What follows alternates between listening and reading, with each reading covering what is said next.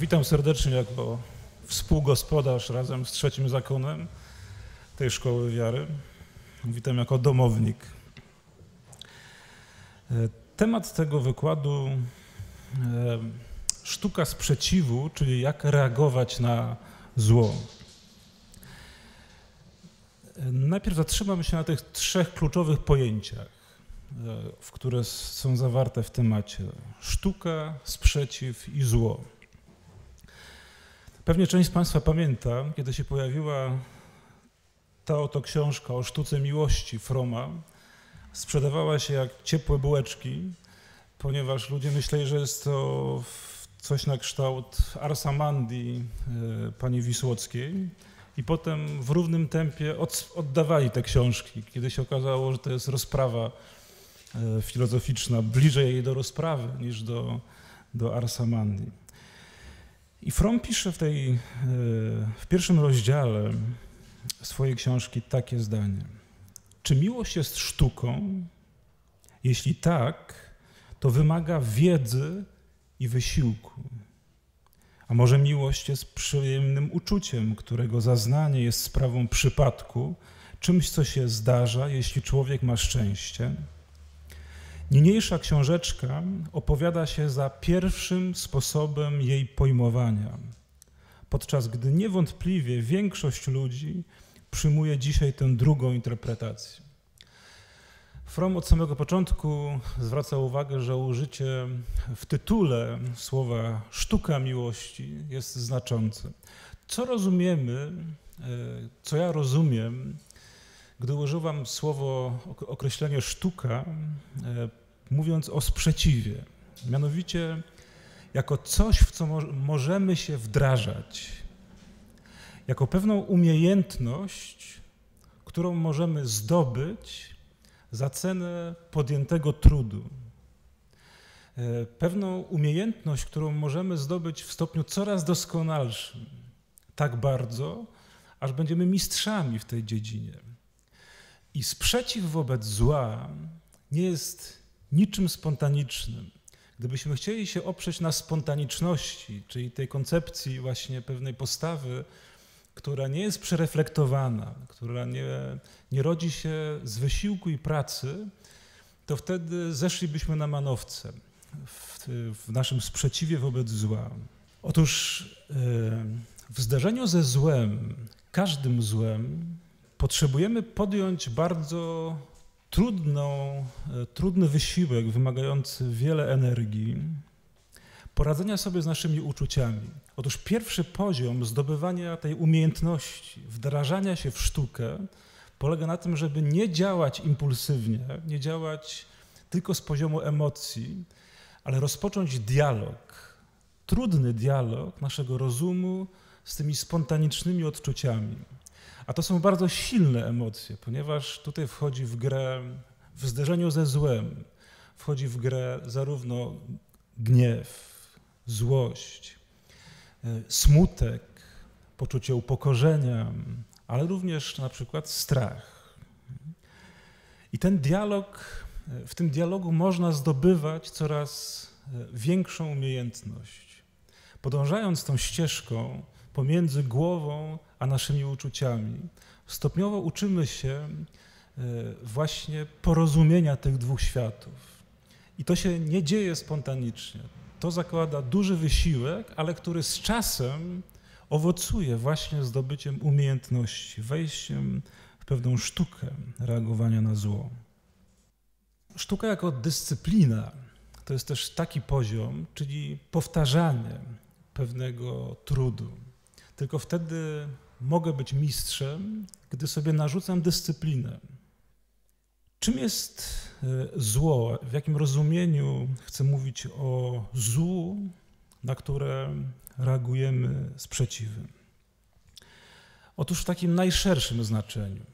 A to najszersze znaczenie, które ma swoje e, ugruntowanie w filozofii tomistycznej, e, złem jest to wszystko, co staje na drodze do pewnego dążenia. My dążymy do różnych celów, też z różnych poziomów. Z poziomu uczuć, one chcą być zaspokojone.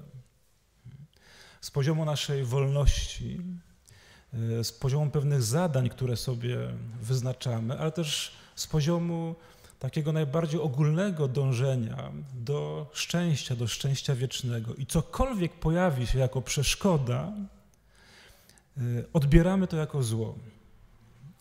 I teraz e, kolejny poziom wdrażania się w sztukę reagowania na zło, sztukę sprzeciwu, to jest odróżnienie zła subiektywnego od zła obiektywnego. Bo na przykład dla mężczyzny, który ma kochankę, to, że żona się o tym dowie, jest złem. To jest złe. Z poziomu jego dążenia, aby trwać w tym związku, który e, w tym romansie, który zaspokaja jakieś jego potrzeby, których na przykład nie ma w swoim związku małżeńskim z różnych przyczyn, tak? to to jest postrzegane jako zło. I to budzi jednokrotnie w, w pierwszym momencie odruch gniewu tak? i gotowość zrobienia awantury. Że jak śmiesz grzebać w mojej komórce na przykład, tak? jak się dowiedziałaś o tym? Czyli odruch jest taki, jakbyśmy spotkali się z czymś bardzo złym, na co trzeba zareagować gwałtownie i gniewem. Teraz na tym polega właśnie ten kolejny poziom wdrażania się w sztukę e, właściwego sprzeciwu, żeby odróżnić, żeby spokojnie zestawić, oceniając to rozumnie, e, sytuację, w której uczestniczę, e, patrząc rozumnie na moją reakcję i stawiając sobie pytanie, czy w kontekście innych dążeń, na przykład dążenia do wyłączności w moim związku, tak, który, którą zaprzysiągłem przed Panem Bogiem, czy moja reakcja jest zasadna.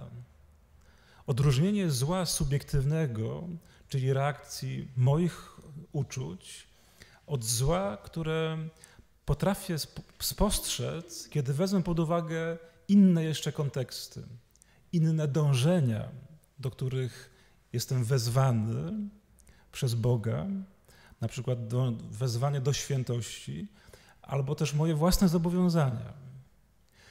I tutaj wdrażanie się polega na tym, żeby rozumnie oceniać, rozumem otwartym na objawienie. Rozumem, które otwiera się na światło objawienia. To jest bardzo ważny moment wychowywania samego siebie do właściwych reakcji na zło. Dochodzi jeszcze jeden element, mianowicie otwarcie się na natchnienia Boże. O tym powiem trochę jeszcze więcej później, ale w danym momencie, kiedy na przykład spotykam się z takim złem, że ktoś mnie upokarza, jest to zło, ponieważ e, słyszę w moim sercu wezwanie do osiągania godności człowieka, dziecka Bożego. I wszystko, co się sprzeciwia z zewnątrz tej godności, kiedy traktuje ktoś mnie w sposób poniżający, budzi reakcję niezgody, sprzeciwu. I teraz właśnie potrzebuję podjąć decyzję, jak zareagować na to, bo mogę podjąć decyzję taką, że się zgadzam w tym momencie na sytuację upokorzenia i nie reaguję. Mogę. Jeśli rozeznam, właśnie w swojej otwartości na Boga i Jego prowadzenie, które dokonuje się zawsze w konkretnych okolicznościach życia, że brak sprzeciwu będzie właściwszy. Więc mówiąc o sztuce, to wszystko mam na myśli. E, dialog rozumu z uczuciami. Po drugie, używanie rozumu w zestawieniu różnych dóbr, do których dążę i którym Zło się sprzeciwia, aby mnie osiągnął. Poznawanie woli Boga, e, przyjmowanie światła objawienia i otwartości na natchnienia, które sytuacyjnie przychodzą w moim życiu. Na przykład chrześcijaństwo jawiło się jako zło w, w oczach judaizmu. Czytamy w Dziejach Apostolskich w 28 rozdziale, Chcemy się od Ciebie dowiedzieć, yy, mówią przedstawiciele Izraela. Co sądzisz o tym, że Twoje stronnictwo, jak nam wiadomo, wszędzie spotyka się ze sprzeciwem? Mówi starszyzna do Pawła. Odnieś się do tego zjawiska. Jeżeli się wszędzie spotyka ze sprzeciwem, no to jest czymś złym. Zabierz mm, jakieś, jakieś zdanie, przyjmij jakieś stanowisko wobec tego faktu. Kiedy Izrael jest na pustyni i doświadcza głodu, doświadcza pragnienia, to w jego oczach jest to zło, któremu się sprzeciwia. I to reaguje bardzo gwałtowny sposób. Księga Liczb, 20 rozdział. Cała społeczność Izraelitów przybyła na pustynię Sin w pierwszym miesiącu. Lud zatrzymał się w Kadesz, gdzie umarła i została pochowana Miriam. Kiedy zabrakło wody dla ludzi, zebrali się oni przeciwko Mojżeszowi i Aaronowi. Przeciwko nim, ponieważ to za sprawą Mojżesza i Aarona wyszli e, z Egiptu na pustynię. Lud kłócił się z Mojżeszem i mówił, obyśmy zginęli jak nasi bracia przed Panem. Po cóż wyprowadziliście nas z Egiptu? Sprzeciw wobec zła, który staje się równocześnie sprzeciwem wobec Boga. I dlatego w oczach Mojżesza i Aarona jest to też zło. Ich sprzeciw jest złem. Do tego stopnia, że nazywają ich buntownikami i w swojej złości, w swojej niezgodzie na postawę ludu zaczynają, jakby tracą transparentność dla prowadzenia Bożego za ich sprawą. Dlatego Mojżesz nie wejdzie do ziemi obiecanej. E, sprzeciw. Parę słów na temat sprzeciwu. Otóż e, w języku hebrajskim jest użyte słowo marach. I ono dosłownie jest wzięte z sytuacji właśnie e, z miejsca, gdzie lud buntował się nad wodami Meriba.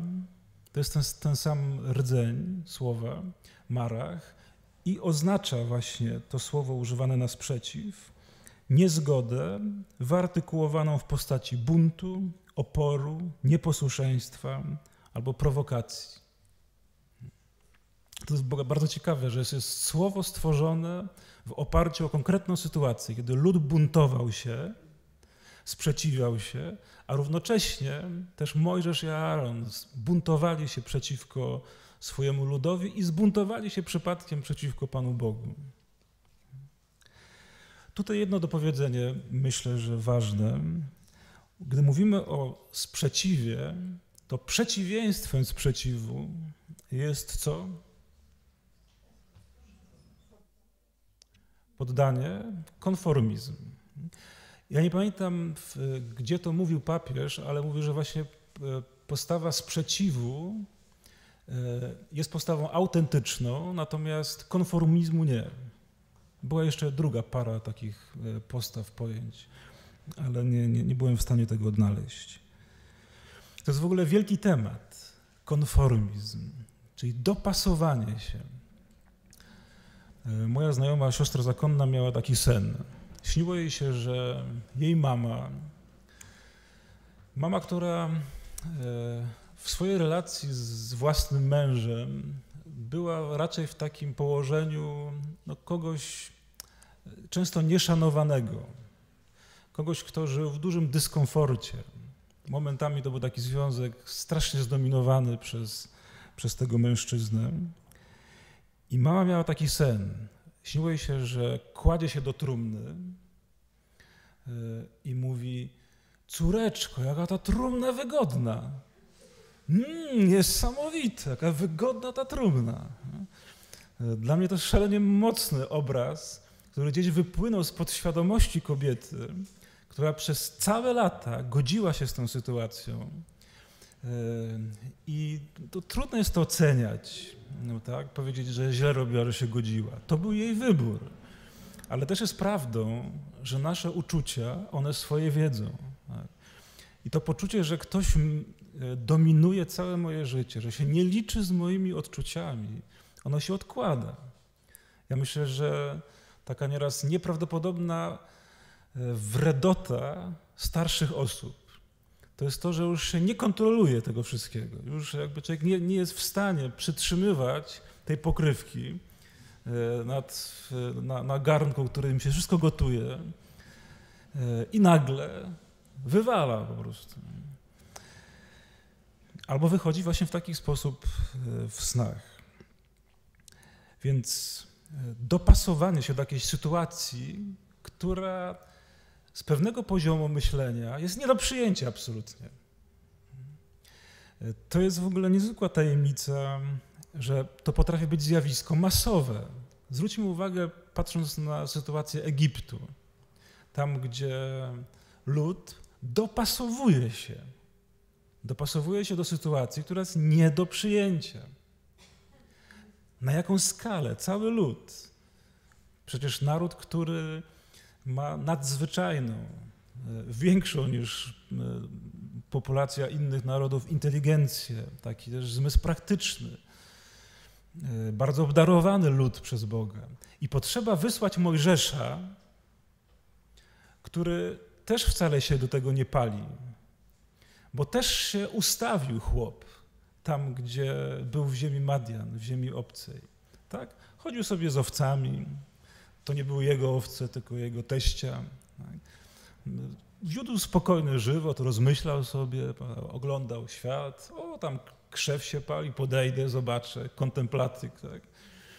Zapomniał o tym swoim sprzeciwie, który w tamtym, co prawda, momencie e, był sprzeciwem wyrażonym w sposób niedojrzały, w sposób impulsywny, w związku z tym nieskuteczny, ale miał ten impuls w sobie. Jakież to trzeba było energii w tamtym momencie, kiedy wiodąc sobie spokojne życie na dworze faraona i widząc właśnie, że lud jest uciskany, żeby się opowiedzieć za swoim ludem, żeby się sprzeciwić, żeby stanąć w obronie tego, który był krzywdzony. To był sprzeciw. Potem to w nim przygasło. Dlatego Bóg mu się objawia w krzewie ognistym, który płonie. Bo, tak jak za chwilę powiem, Bóg też się sprzeciwia.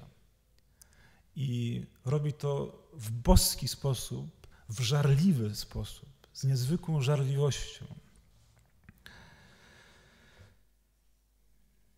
I tak to w ogóle w historii Y, ludzkości jest nieustannie, że cała populacja potrafi się oswoić, nie sprzeciwiać się i potrzeba, żeby Bóg wzbudził ducha żarliwości w jakiejś małej garstce. Tu już kiedyś mówiłem o tym, że jak powstawało, e, powstało w Krakowie e, nie NZS, a może NZS, e, to grupa młodych ludzi, wśród nich Wilstein między innymi, oni po prostu pisali ulotki. To nie były, co to była za organizacja? Nie NZS, tylko, tak? SKS, tak. Mhm. Tak, tak, tak. To oni po prostu pisali ulotki, gdzie wyrażali swój sprzeciw wobec e, upokorzenia, które niesie e, komuna i podpisywali się imię, nazwisko, adres. Tak? I oczywiście co tydzień lądowali na, na 24 godziny. E, ale to był ich wybór. Oni chcieli po prostu pokazać tym innym, którzy się zaczęli oswajać z tą sytuacją. Zaczęli się mościć w trumnie. Tak? Albo jak używa jeszcze in, inne określenie ze Starego Testamentu, naród, który mieszkał w ciemności, zamieszkał w ciemności. Czyli po prostu przyzwyczaili się, zadomowili się w ciemnościach. Jest taka po prostu w nas taka możliwość. Kiedy Japończycy więzi, trzymali w więzieniu Amerykanów, to szybciutko wyselekcjonowali e, te przysłowiowe, tak mówią, 10% aktywnych osobników, którzy właśnie mają w sobie zdolność powiedzenia nie, sprzeciwu i wyartykułowania, Tą dziesiątkę wzięli pod bardzo ścisły, ostry nadzór i mieli święty spokój.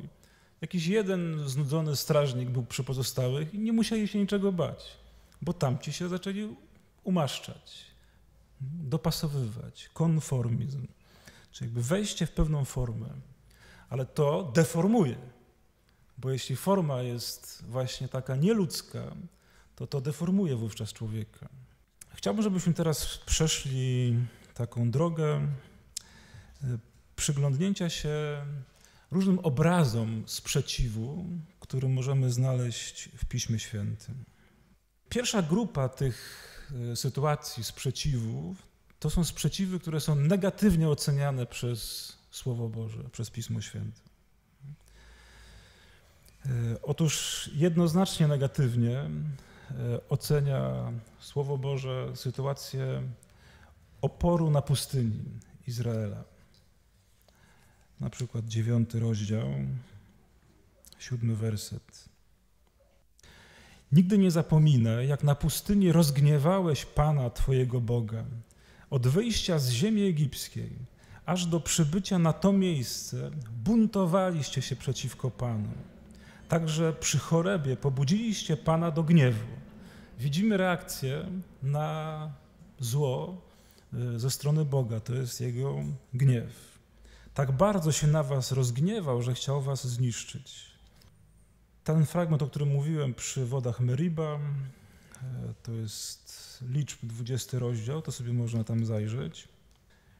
E, sprzeciw, aby wejść do ziemi obiecanej, bo lud w pewnym momencie, kiedy już dochodzą do ziemi obiecanej, buntuje się, sprzeciwia się temu, aby wkroczyć do ziemi, powodowany strachem, który rodzi się w ich sercu powtórzonego prawa, pierwszy rozdział, 1,26. Wy jednak nie chcieliście iść, kiedy powiedziałem, że daję wam piękny kraj. Wy jednak nie chcieliście iść i buntowaliście się przeciwko nakazowi Pana waszego Boga. To było to marach cały czas. Bunt, niezgoda. Szemraliście w namiotach i to jest ten to jest ten bunt, sprzeciw niejawny w ukryciu, ale Bóg zna serca. Szemraliście w namiotach i mówiliście, Pan nas znienawidził i po to nas wyprowadził z Egiptu, aby nas wydać w ręce Amorytów i zniszczyć. Bo się dowiedzieli, że w tym miejscu, do którego wreszcie doszli, e, mieszkają, nie mieszkają ułomki, tylko są to e, solidni wojownicy, którzy się po prostu wystraszyli. I wyobraźnia już wtedy podpowiedziała e, jakiś w ogóle koszmarny scenariusz, gdyby tam weszli. Wystraszyli się. E, prorok Jeremiasz w piąty rozdział, 23 werset mówi tak. Serce tego ludu jest krnąbrne i zbuntowane. Jest bardzo w ogóle ostra ocena Boga, który wyprowadza swój lud, który go prowadzi, a nieustannie spotyka się z buntem. Nieustannie czuje się e, jako zło w oczach swojego ludu. Że całe to prowadzenie jest postrzegane przez lud jako zło, przeciwko któremu trzeba się buntować. Serce tego ludu jest krnąbrne i zbuntowane. Odwrócili się i odeszli. Sprzeciw, który jest postrzegany jako negatywny y, w świetle Słowa Bożego, to oczywiście jest sprzeciw faryzeuszów uczonych w prawie, y, całej starszyzny Izraela, sprzeciw wobec Jana, oczywiście znacznej części, bo nie wszystkich, sprzeciw wobec Jana Chrzciciela i jego wezwania do nawrócenia. Jest taki moment, kiedy Jezus rozmawia e, z, właśnie z faryzeuszami i próbuje im uświadomić, że oni nie poszli za wezwaniem Jana. Jest przypowieść o tych dwóch y, synach, który jeden powiedział nie pójdę, a potem poszedł na pole, a drugi powiedział pójdę, a potem nie poszedł. I to wy jesteście. Wyście powiedzieli idziemy za Bogiem, a kiedy przychodzi Jego wysłannik, sprzeciwiacie się Jego słowom. Jezus wielokrotnie też mówi, uświadamia, że ten sprzeciw jest długą historią, począwszy od pustyni, później przez sprzeciw wobec słów proroków, bo to też jest taki nurt sprzeciwu bardzo negatywnie ocenianego przez, przez Słowo. Mówi, i wy, wasi przodkowie mordowali proroków, sprzeciwiając się im, i wy tak samo robicie. Nie przyjmujecie Jana, nie przyjmujecie mnie.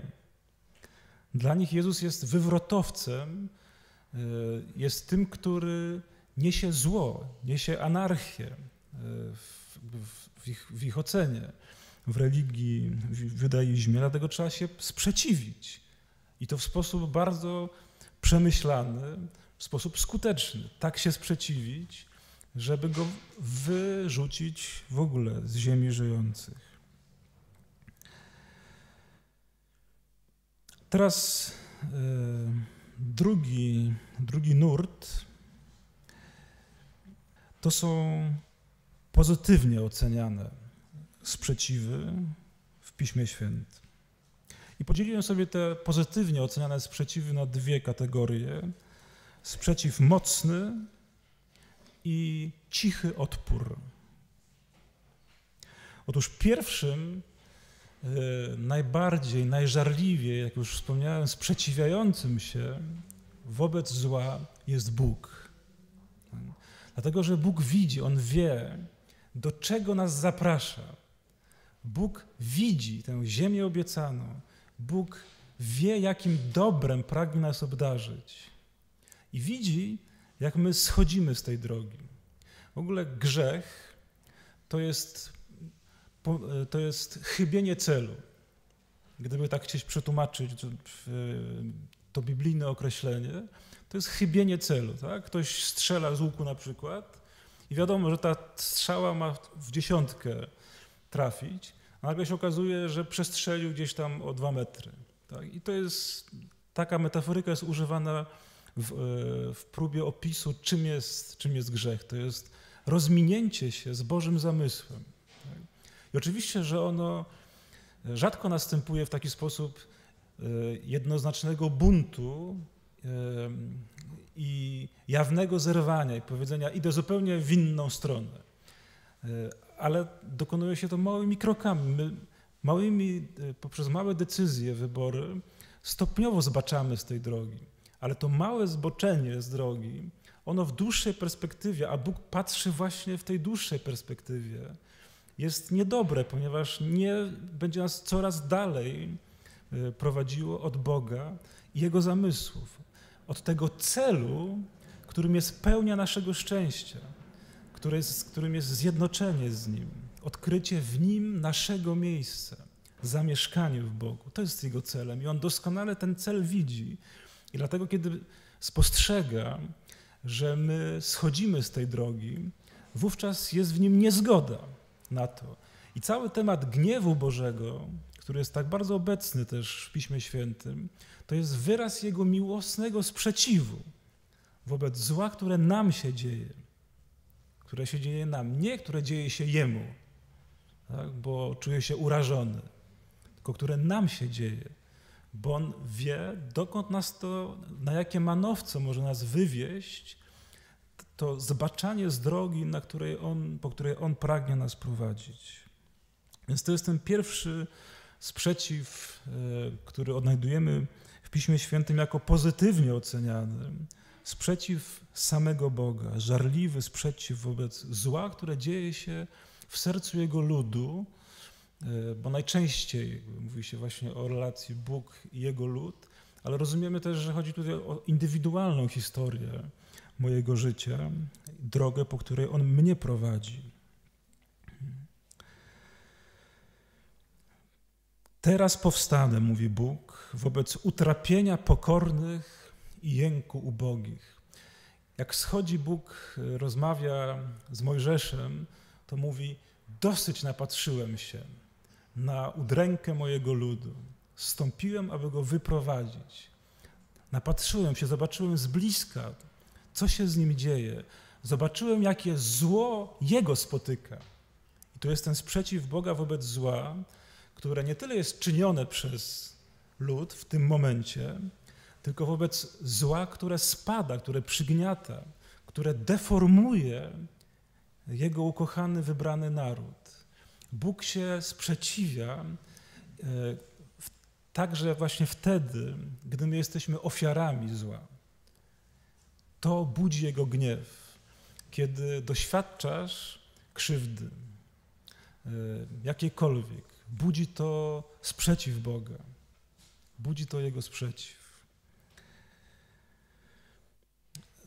Bardzo lubię Daniela e, i to jest jeden z tych ludzi, którzy, którym właśnie się Bóg posłużył. E, I to jest, to jest sprzeciw, który sobie nazwałem sprzeciw wobec strukturalnego e, zła oraz bezmyślności. Kojarzymy tę historię. Jest dwóch starców, którzy latami prowadzą taki proceder, że szantażują młode dziewczyny, Żydówki, że albo będą z nimi współżyły, e, albo oni wykorzystają swoją pozycję, oskarżając je e, i de facto skazując na śmierć. To trwało latami. Nie wierzę, to jest wbrew realiom, żeby to nie było wiadome, przynajmniej części ludzi. Tak, no, takie procedery, które latami się ciągną, trudno jest utrzymać w całkowitej tajemnicy, w całkowitym ukryciu.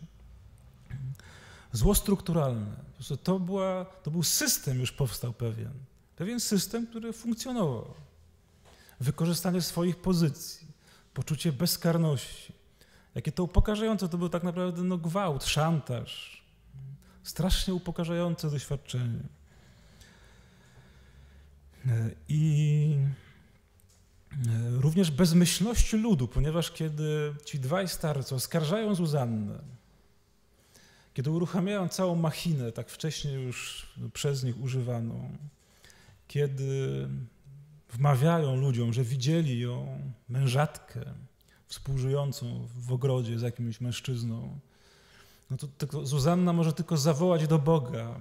Jest tą anawim, jest tą ubogą, której jedynym ratunkiem w tym momencie jest Bóg, która nie ma żadnego innego ratunku i woła do Boga, powierza się Jego opatrzności i Pan wysłuchał jej głosu. Gdy prowadzono ją na śmierć, tak, jest prowadzona, to właśnie jest ta, ta bezmyślność ludu, to takie przyjęcie, cały w ogóle cała rzesza towarzyszy e, Zuzannie prowadzonej na śmierć jak, jak baranek na rzeź prowadzona, e, bez reakcji. Czuje się bezsilna. Ludzie czują się bezradni wobec tego wszystkiego, co, co czują, że jest niegodziwością. Ponieważ gdy usłyszeli wyrok, lud płakał. Ludzie czuli, że to jest niegodziwość. Gdy prowadzono ją na śmierć, Bóg wzbudził świętego ducha w młodym mężczyźnie o imieniu Daniel. Zawołał on donośnym głosem. Właśnie w takiej sytuacji sprzeciwu, tam gdzie jest jakieś strukturalne zło, które sobie hula świetnie od długiego bardzo czasu, potrzebny jest sprzeciw donośny, sprzeciw słyszalny. On nie podszedł do nich, nie wziął ich na bok, powiedział, panowie, wiem, że kręcicie, no nie chcę robić tutaj wam teraz poruty, więc szybciutko się z tego wycofajcie i zapomnijmy o sprawie. Tylko Bóg wzbudza w nim świętego ducha i gdy ten duch zostaje wzbudzony, duch niezgody na krzywdę, krzywda jest wielkim złem, która się dzieje wobec Zuzanny, zawoła donośnym głosem: Ja nie jestem winny jej krwi. Wszyscy zwrócili się w jego stronę. Patrzcie, że właśnie ten bezwład tłumu w momencie, kiedy powstaje jeden i który mówi nie, nie ma zgody, wtedy nagle e, lud szybko w drugą stronę. Zwraca się cały lud ku niemu w jakiejś nadziei, spodziewaniu się zmiany, e, odmiany losu. Co znaczą słowa, które wypowiedziałeś? On stanął przed nimi i powiedział: Czy aż tak niemądrzy jesteście, Izraelici? skazaliście tę córkę Izraela bez dochodzenia i nie mając pewności. Wracajcie do sądu, bo oni fałszywie zeznali w jej sprawie. Ile razy właśnie potrzeba takiej sytuacji, żeby ktoś się sprzeciwił. Pamiętam w książce Stasiuka, tak? to był ten, na mandolinie pogrywał sobie w Warszawie. Grzesiuk, tak, Grzesiuk. Grzesiuk napisał książkę, w której opisywał perypetie swoich gruźliczych przejść, pobytu w szpitalach i tak dalej. Mówi, że ich tam paru na tej, na tej sali leżało, czy parunastu nawet, gruźlików. I któregoś razu jeden z nich no, zaczął wyglądać, jakby już był jedną nogą e, po drugiej stronie, więc zrobili alarm. Przyszła pielęgniarka, mówiła, niech pani woła lekarza. Ona spojrzała, mówi, że e, tam przesadzacie. I wtedy Grzesiuk mówi, że wziął kaczkę i walnął w nią. Mówi, lekarz! I ona poszła i rzeczywiście okazało się, że to była kwestia minuty. I potem e, był na jakiejś, w jakiejś przepustce i w trakcie tej przepustki ten, ten zawodnik umarł.